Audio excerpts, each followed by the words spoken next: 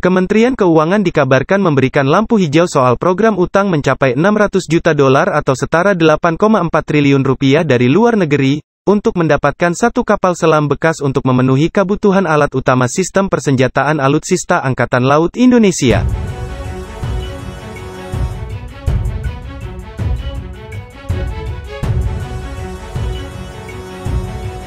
Laporan ini ramai setelah media militer Janes, mendapat bocoran dokumen, yang menunjukkan persetujuan sudah diberikan untuk program Interim Readiness Submarine Class.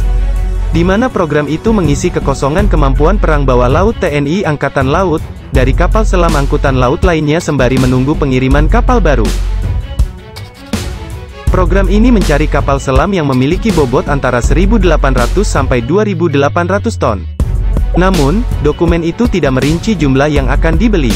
Janes juga menuliskan persetujuan pinjaman untuk IRSC dicapai melalui konsultasi Kementerian Pertahanan dan Kementerian Perencanaan Pembangunan Nasional. Hingga saat ini TNI Angkatan Laut mengoperasikan armada 4 kapal selam diesel listrik, terdiri dari tiga kapal Nagapasa tipe DSME 209 per 1400, dan satu kapal KRI Cakra 401. Kapal selam Indonesia berkurang setelah KRI Nanggala 402 tenggelam di Laut Bali pada April tahun 2021 lalu. Insiden itu menewaskan semua kru KRI Nanggala 402.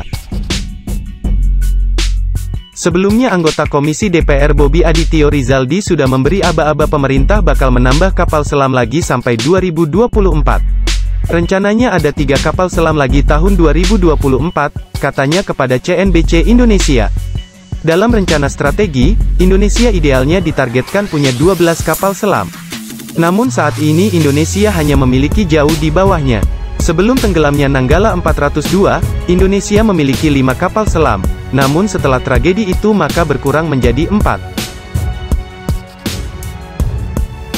CNBC Indonesia mencoba mengkonfirmasi soal kabar pembelian kapal selam bekas kepada juru bicara Kementerian Pertahanan Dahnil Anzar Simanjuntak, dan Dirjen Anggaran Kemenkeu Isa Rahmatarwata, tapi belum mendapat tanggapan.